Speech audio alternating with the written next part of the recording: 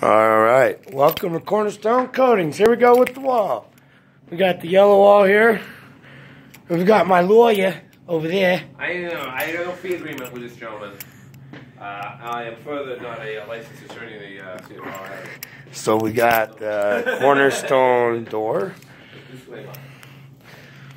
All right, guys, we got this block filler on this wall, and going all the way over to here. And then we've got this wall. It's got a fresh coat on there.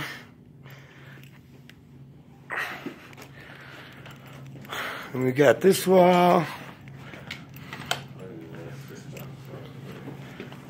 All right.